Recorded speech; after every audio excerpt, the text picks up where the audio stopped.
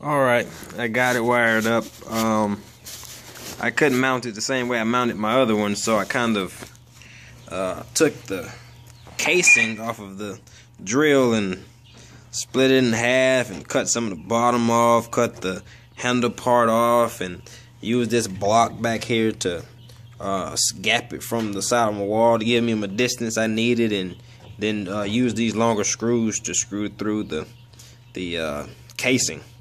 So it worked for me. Um, my last one I didn't do like that. I used uh, some other scrap material I had. So you may have to just uh, uh, work from off the top of the dome with this one. Um, but basically it seems like it's working. The more you run it, the smoother the threading to get. Make sure you grease it. Um, I just used some bearing grease that I had uh, over on the shelf from packing bearings from my truck.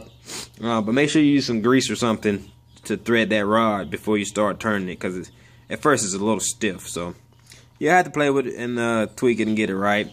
Um, that's how I mounted it onto the. Uh, just use it two uh, bolts. I actually use two little bolts. Um, I don't know if you can see the bolts in the back, but uh, that's how I used it. And I'm gonna run it. I just got it hooked manually to a bat to this little battery right here. So I'm just gonna run it manually for you to just see it turn here. All right.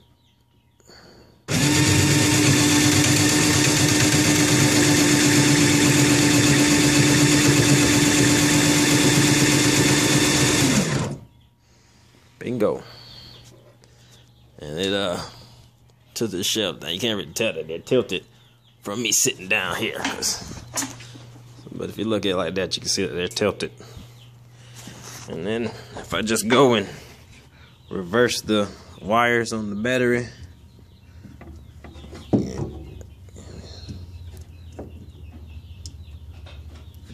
Give me a second here. Okay, I just reversed the wires on the battery and then connect it.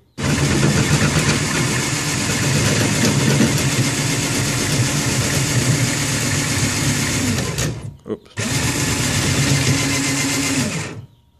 And there she goes.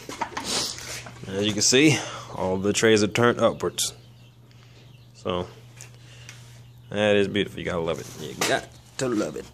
So, um, I'm, we're gonna wire it to the limit limit switches, and uh, I'll try to walk you through that next step.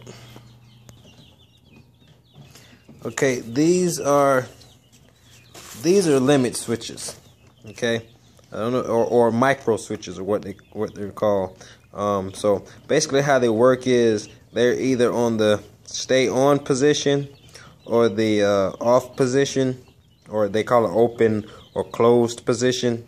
Um, if you hook, in, this case, we're going to use it. I don't know what it's called, if it's on the on or, or closed position, but I think it's uh, the closed position.